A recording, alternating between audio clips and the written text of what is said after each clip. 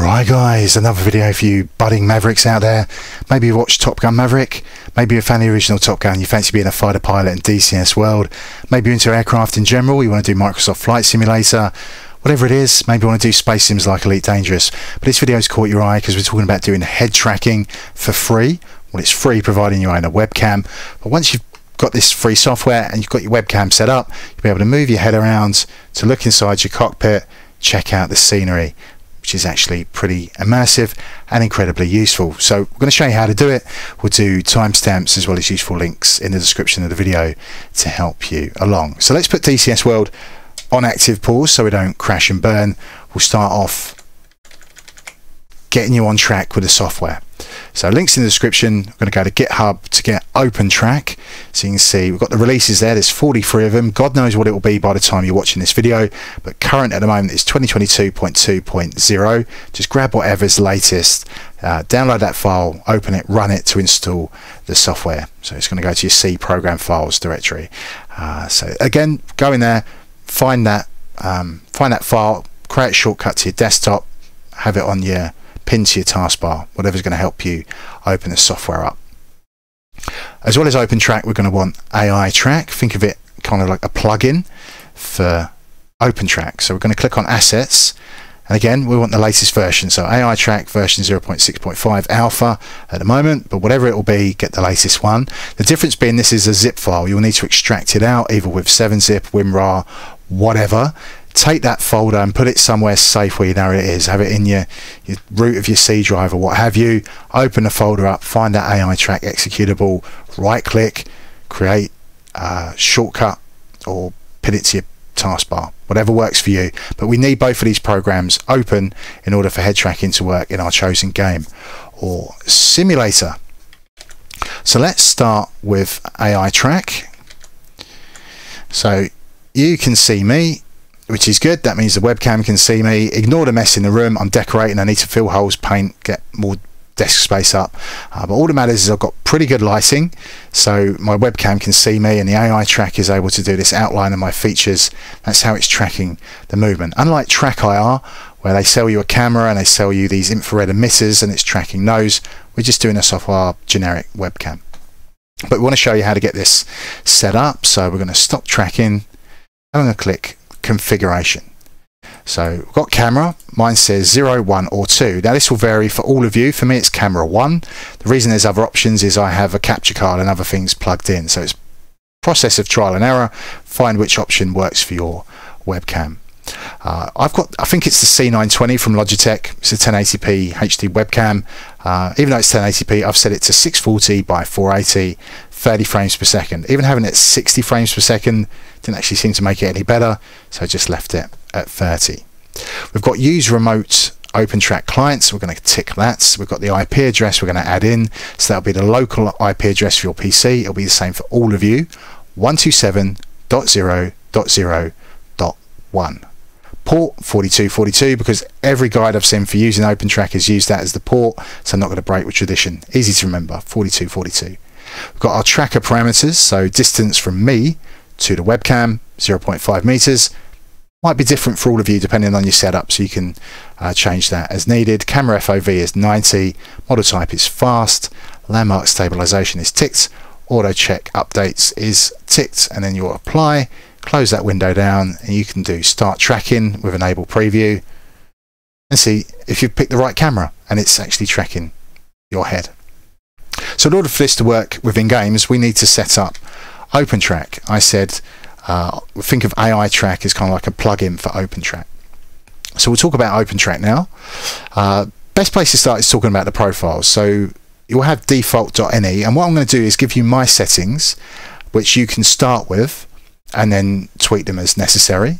But you can go a little bit further. Once you're reasonably happy with your baseline settings, you can click on profile, create a new profile based off default.ini to then tweak for different games. So you can have one for DCS World where it's maybe a little bit more sensitive because you're dogfighting. You can have a different one for Microsoft Flight Simulator because all you're really doing is just trying to take in the scenery. You want it to be slow and smooth. Have another one for Elite Dangerous or Star Citizen, whatever you're playing. So we'll start off doing the default INI for you, although mine's called DCS. Uh, we've got input, again my stuff's greyed out simply because it's in use. But you'll be able to click on input and do UDP over network, select that.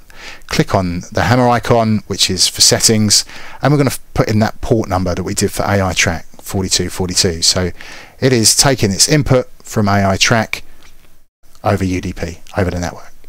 We want output, which is FreeTrack 2.0 enhanced, and click on the settings. So you can select your interface. I just leave it enabled on both. Never had any problems, but you can choose FreeTrack if you want to. Um, just I suggest leaving it on enable both unless you have problems. So we've got filter. I've select Accela. Again, we'll click on the settings. So this is we need do need to break down what's going on in the tabs. So we've got shortcuts. Uh, you don't have to do this, but it might be helpful for some of you. So to center the view, I've clicked bind and pushed a button on the base of my joystick. So it happens to be button 28 on my VKB Gladiator Evo. You might not have buttons going spare on your joystick, on your HOTAS, so you want to do uh, a keyboard shortcut. You can do that. So you can have one to center the view again. You can have one to toggle the head tracking on and off, um, so on and so on. Start the tracking, stop the tracking, do whatever you want to do. You can see we've got a center at startup, so we might as well have that enabled. And we'll move on to output. So this is important we set this up right. We've got destination, source, and invert. So for yaw, which is moving my head left and right, that's going to be source yaw, but it's not inverted. Pitch is moving my head up and down. That's source pitch, and it is inverted. Roll X and Y we're not using, just disable them. Z, source is Z, and we do invert it, and that's me moving my face closer to the webcam so we can zoom our view in. So we see custom center pose, alter the center position center game is useful if the default position is too much downward or upward. So I've got my X at minus one. You probably won't have to mess around with this too much, but just know the options are there uh, to tweak if you see fit. Relative translation tab, not using it, none of it. We can just skip over that. So game detection, you can add an executable for a game like DCS World, like Microsoft Flight Simulator, and then tell it to start tracking automatically when the game starts and use a selected profile we've created. We said that about that a little bit earlier. So uh, the Microsoft Flight Sim profile isn't as sensitive as DCS World and so on. You can tweak things around what suits you. So we've got a filter, which is also important. This is to smooth out the, the movement. So I've got rotational filter in yaw pitch and roll. Smoothing is 1.8. Dead zone is 0.06. Positional filtering for X, Y, and Z. Smoothing is 1 mic mic and dead zone is 0.1 mic mic. Again, you can tweak these things around and see what difference it makes to you. These are just baseline settings that seem to work quite well for me. So we'll do OK. Now we're still not finished yet, we need to do the mapping. Think of this as the sensitivity. So when you first do this, be on yaw, you're just going to have a straight line going across. Uh, and we can see that this red dot is tracking on, on that curve based on my head movement. So on your straight line, you can click to add these grey dots. So click to add one, and then you can drag that to wherever you, you want to put it. So my first grey dot I've set to be value 10.00 times 0.00. Now what this is doing is just giving us a little bit of play, a little bit of a dead zone, so it's not picking up any slight movements of my head. You can set this to what you want. You can have it to 5, you can set it to 15, you can have more of a dead zone. It's up to you. But you can see that it's not actually moving in DCS till we go past that grey dot. Then we're going up on the curve and 180 kicks in at 60.00 times 180.00. So you might want to change that to 55, 50, whatever, what works for you. You might want to put in extra points and, and tweak around the curve. It's up to you. This is just to give you uh, some settings to quickly get up and going. So we've got the pitch. I certainly find this to be quite finicky. This is the up and down head movement. So again, we're going to have our first grey dot, which is going to be value 5.00 times 0.00. That little bit of play, that dead zone, have it at 10, have it at whatever you want. Um, but yeah, as I'm moving my head up, now it's starting to move, but it will start to spaz out. There we go. It's just, yeah, it doesn't seem to like tracking my head up and down too much, but it is what it is. So roll oh yeah, the maximum we've got 30.00 times 90.00. So again, tweak it around, see if you can get it a little bit better. Roll X and Y we said we're not using, Z we are using, that's the zoom.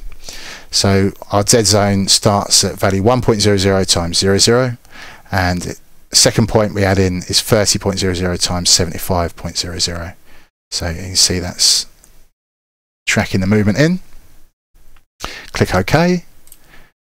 So with AI track, you see what your head's doing and you'll see the octopus is moving around based off what our head's doing. But the real test is doing it in DCS. So let's bring that up.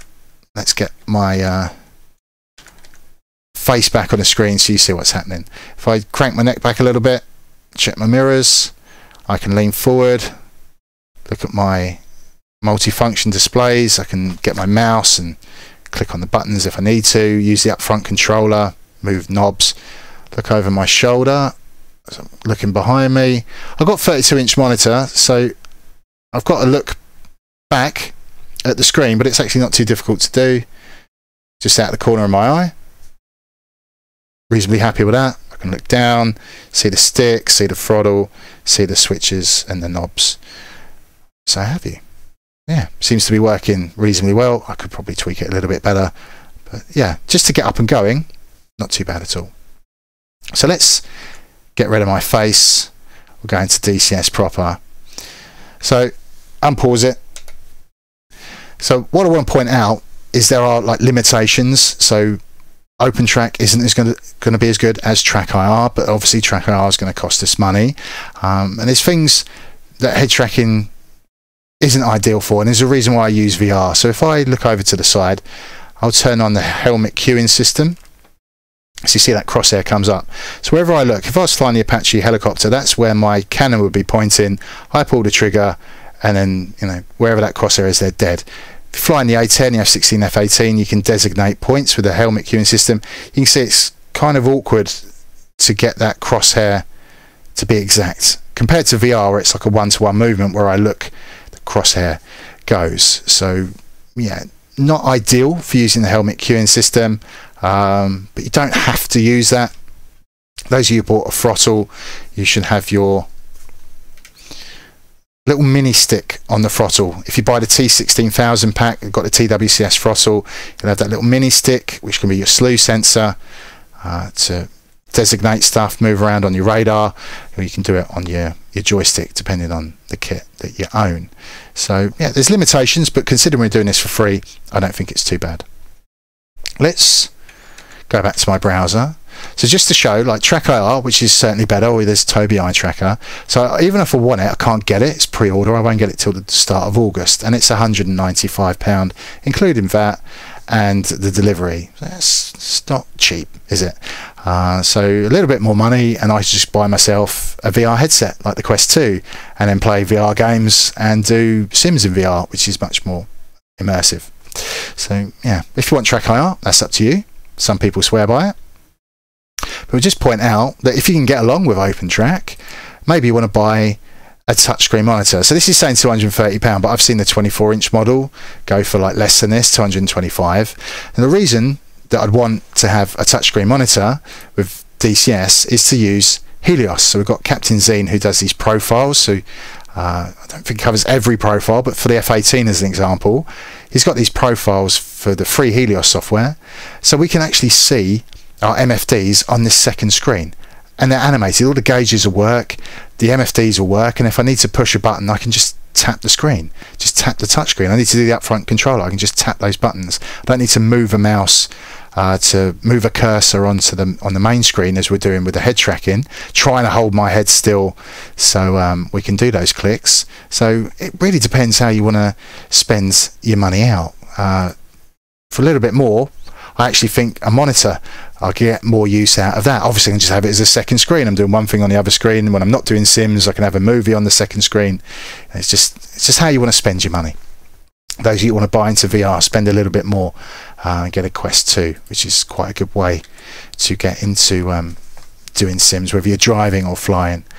Uh, Quest 2 is pretty good starting headset.